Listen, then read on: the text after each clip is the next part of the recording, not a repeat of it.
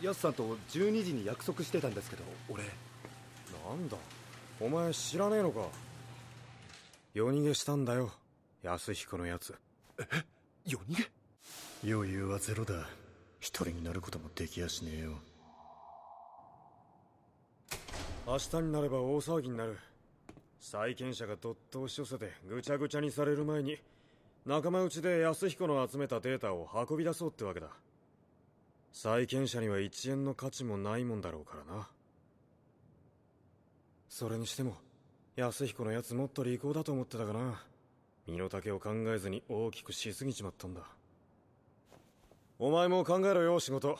今のやり方じゃ安彦と同じように自滅するだけだぜ。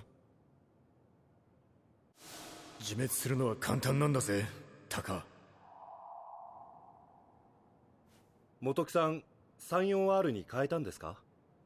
ああ最初はクラッシュした 33R を直すはずだったんだけどな。思ったより 34R は客のニーズもあるし思い切って買ったんだ。すぐに800馬力いきますね。RB26 は嫌になるほどノウハウがあるし。タカもうそういう時代じゃねえだろって。結局 R はブーストアップ仕様に尽きるんだよ。今の客はバカじゃねえから。でもライトなブーストアップ程度じゃ白の32もブラックバードも。もちろん Z も落とせませんよ。いい加減にしろよタカ。行動300キロなんてバカな時代はもう終わりだ。これからは合法のコースで誰もがチューニングカーを楽しむ。そういう時代だ。楽しむ？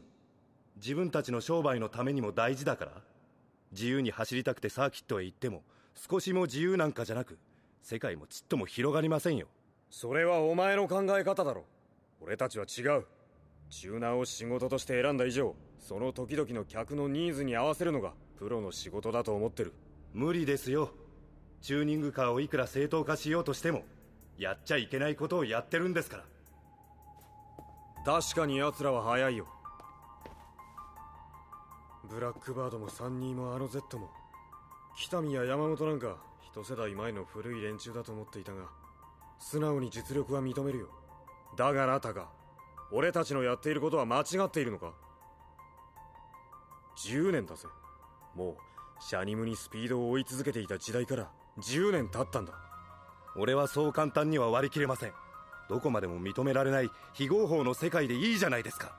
流行とか時代とか関係なくて。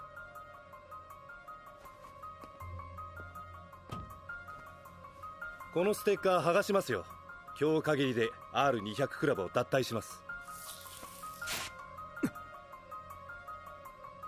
R200 クラブの結成時メンバーだったことは誇りですよ。みんなの情熱に正直圧倒されましたしね。イカサマまがいの古いチューナーを否定し新しい何かを作り出そうとしてましたよね。でも全然ダメだった。結局みんな自分のことで精一杯で。それに自分が否定してきた古い世代の山本スピードや RGO などがずっとチューナーとしてピュアだと分かったんです。俺は俺のやり方でやっていきます。じゃあ。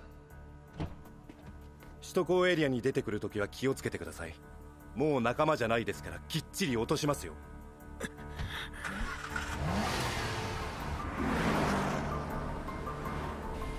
後悔のない10年間だった。だけどこれから先は何もわからない。行くか降りるか。あの Z と走ることでその答えは必ず出る。